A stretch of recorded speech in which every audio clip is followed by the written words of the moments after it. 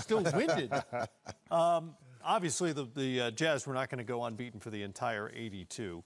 Uh, road game in Chicago, though, is a tougher assignment than it was a year or two ago. And, and you know, typically when teams load up on new players, we think of things – from an offensive framework, but Chicago didn't have a great offensive night. It was their defense against Utah. Well, that's the thing. When they put this team together, Marc Eversley and they put this team together, the first thing they talk about was defense and then improving their talent. And so when you look at Zach LaVine, DeMar DeRozan, Alonzo Ball, now those three guys are pros. They can defend their position. They can get out in transition. You got three guys that can handle the ball and pick and roll. And so when you look at this Bulls team, they're a little bit more diverse, diversified than what you would think. And if Vucevic at the center, if he can hold down that center position, and if they can rebound enough, Losing Patrick Williams, GA, is going to hurt them mm-hmm. from the standpoint of depth and a guy that can defend and who's unselfish.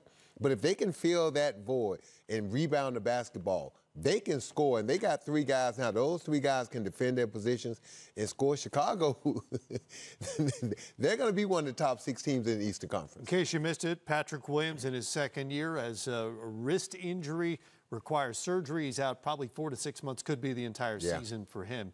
Big blow to them, but this is a much deeper Chicago team than we've seen the last few years. They are. Uh, listen, they, they still they don't have a lot of offensive firepower off the bench, but right. to Sam's point, they are much better defensively. And, and look, there's a formula when you go up against Utah. You've got to take away the three point shot first and foremost, and then you've got to figure out a way to contain Donovan Mitchell. And, and tonight, even though Donovan did have 30, he took 27 shots, 27, so he wasn't an efficient player. And this was a big game for Chicago also because they've gotten off to a good start, but really it was just Utah and New York were the two teams that they've played thus far – that were really good teams, mm-hmm. right? And they lose to New York, but they bounce back and knock off a really good Utah team. So that's going to, I think, give them some confidence moving forward. How good can Chicago be, do you think? It, you know, barring some sort of uh, pre trade deadline blockbuster deal, the way they're constituted right now, you mentioned the depth, and maybe they're not, you know, there's not a ton of firepower coming off the bench offensively, but how good can the Bulls be in the East? I think they can be a good team. I, I think we still don't really know how good the East is, right? Because right. Milwaukee's having their struggles. They're dealing with their own injuries. Brooklyn's got stuff going on as well in terms of uh, not having all under, their pieces. There's an understatement. You know, and so because of things like that, Atlanta's gotten off to a slow start.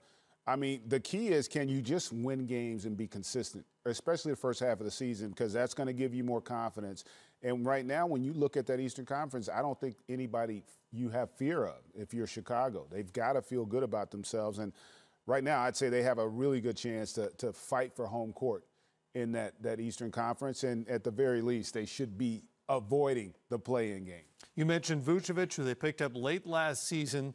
You can play your offense through him. And then they picked up DeMar DeRozan as a coach kind of luxuries are these to have these guys on the floor? DeRozan, you can just give him the ball. He can he can create a shot for himself at any point. Well, you're talking about two veteran players that are just below an All-Star. Vooch has been an All-Star before. DeMar has been one. So those guys know how to play. They know how to win. They both have been a part of winning programs. But the thing that's more important about them, their veteran leadership.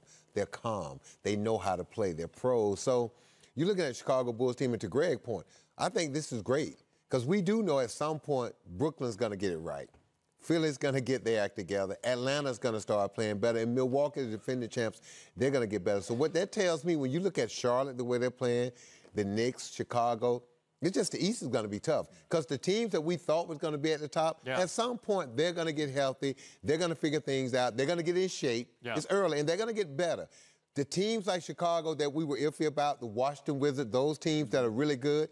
The problem now in the East is no throwaway games. Yeah. Right. Who do you go? Who do you look at in the Eastern Conference and say, when we go to this place, we guarantee to win if we just show up and play. Right. There are no more ease outs anymore, so it's imperative.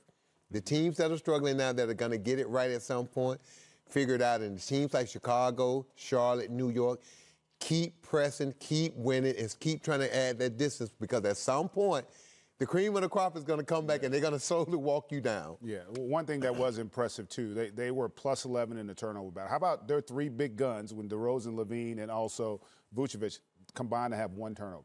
Yeah. That's an impressive stat when you yep. run your offense yeah. through those three guys. The majority of the time, they're taking most of the shots. I mean, they combined tonight to take uh, 50 shots, 60 shots. and only one turnover combined. That that's a hard formula to compete against. Hard to against lose the game when you do that. if- when you do that when your best